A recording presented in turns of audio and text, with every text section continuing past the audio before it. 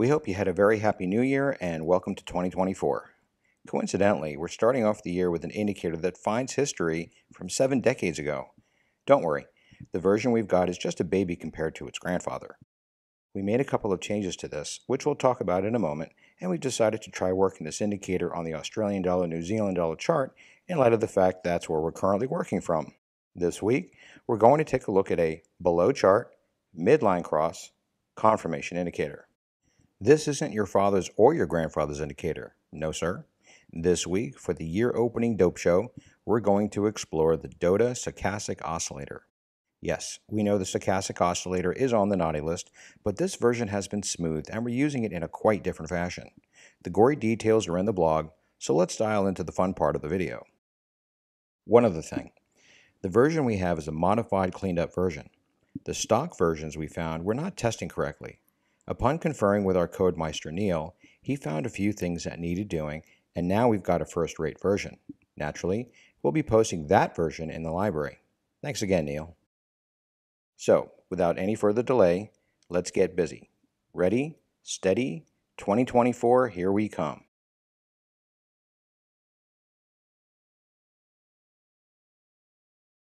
Alrighty.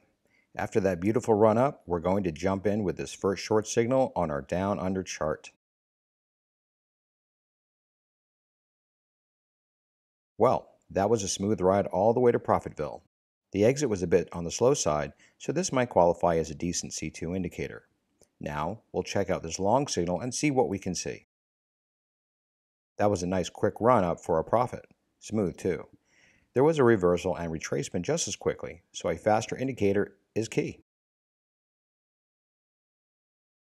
Interesting moves there. Enough of a rundown for a successful trade, and there was a bit of a retracement along the way. Depending on the ATR, you might have weathered the move or you could have just been stopped out. Either way, we'll mark it on our trusty journal and soldier on.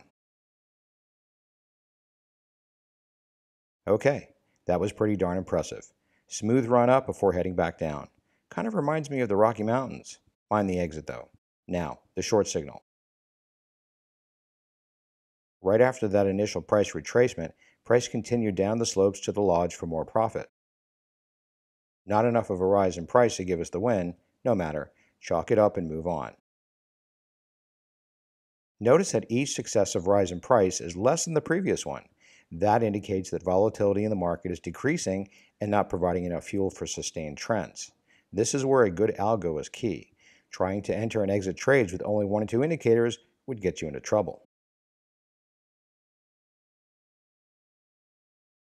There was a slight rise in the overall market, but perhaps not quite enough to make a profit. This fresh short looks like we've got a big increase in market activity. Let's see how it shapes up. A nice quick rundown before a reversal that went just as quickly. Remember, try working the settings to get quicker price to indicator reactivity for smarter signals. Now the long. And we're back skiing for profits. Yes, sir, that'll work.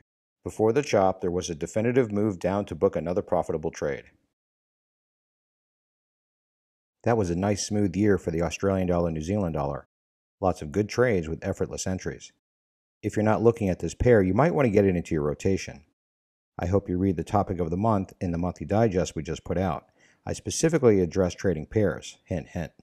If you didn't receive it, be sure you sign up on the site and shoot me an email at dan at stonehillforex.com. You know where to get it, right? It's available in the Stonehill Forex library at no cost. The link is in the video's description. Wait, before we finish up, we wanted to tell you about our meeting with Blueberry Markets. We met with head of partnerships in their hometown of Sydney and struck a deal 100% better than the previous one. What this means is that they will now add 20% up from 10% to your initial deposit for new accounts up to the $2,000 bonus, meaning you don't have to deposit $20,000 to reap the full reward. Let's do the math. As illustrated, the more you deposit, the more margin you'll have for trading. That extra free margin can help you get things started. Not to mention, you'll get personal onboarding and full-time award-winning customer service to ensure that things go smoothly but you must use the landing page link on the website in order to reap the bonus.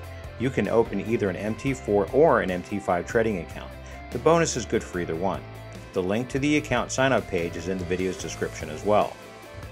If you need additional information about this offer or how to go about signing up, drop us a line at dan at stonehillforex.com. Now we'll finish up the video. Now, don't give us that look. You know we don't play that game. No financial advice is given here. We educate you so you can make your own decisions. You got this. It's the start of the year. Make it your year. Our only goal is to make you a better trader.